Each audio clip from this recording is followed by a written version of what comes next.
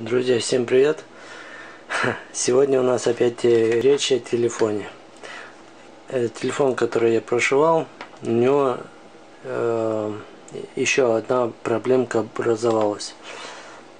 Если мы разблокируем э, верхнюю менюшку, так скажем, э, откроем об ошибках, всяких сообщений, готовность. И у бывает, точнее у меня было, что неверный имей написано. А, то есть он не видит имей. И вот я хочу расскажи, рассказать о решении этой проблемы. А, для этого мы заходим в набор а, кода. А, мы будем исправлять через инженерное меню. Чтобы туда зайти, надо а, набрать номер вы видите, какой я набираю. Так, и закончить. Так, что-то я неправильно набрал. 364. 66, 33. Решетка, звездочка, решетка, звездочка. Ага. Переходим во вторую вкладку Connectivity, CDS Information и Radio Information. Дальше у меня было и в первом, и во втором э, он двухсимочный, так что тут э, как бы два телефона, один и два. Ну, по порядку, вначале первый ходим. И вот э, здесь email запись отсутствовала, просто ничего не стояло.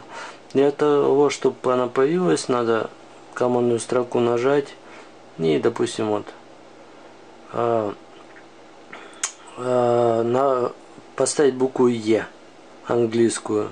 И дальше выбираем. Для первого телефона выбираем верхнюю запись. А для второго 1.10, который вторую. То есть э, добавили номер, применили, делаем назад – Нажимаем второй фон. И также изменяем. Ну, так. Так, мы зашли во второй, 1.10. Также между кавычек переходим, переводим курсор и начинаем э, email номер вводить.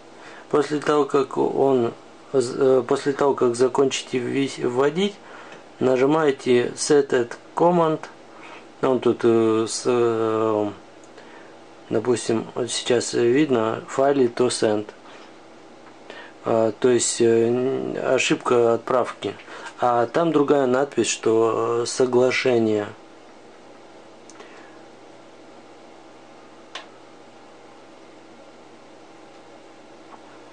А, после того, как ввели, мы инженерное меню закрываем. После того, как и в первую и второй телефон ввели, и мы, а, мы его выключаем, то есть перезагружаем. Я, конечно, немного начал не с того. Для начала вам надо посмотреть email код. Для этого от, открываем крышку, убираем батарейку и вот здесь email.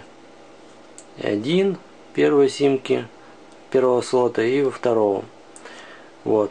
А, Отсюда записываем эти имеи и тогда включаем, заходим в инженерное меню и проделаем предыдущие шаги. А, и тогда у вас все будет хорошо. А если вы э, это не сделаете, то, допустим, этот телефон почему-то при отсутствии имея с мегафона звонил, а тот же Билайн и другие операторы, он не хотел э, без имея звонки отправлять. Так что имей должен обязательно прошить. Ну, вообще несколько способов существует, но я э, показал вам способ, э, именно которым я поправил эту ситуацию. Э, так что кому понадобится, используйте. Ну, у кого остались вопросы, Пишите в комментариях, ставьте лайки, кому понравился, подписывайтесь на канал. Эм, но есть много разных тем, еще будет больше э, на канале дальше. Но у меня все, пока.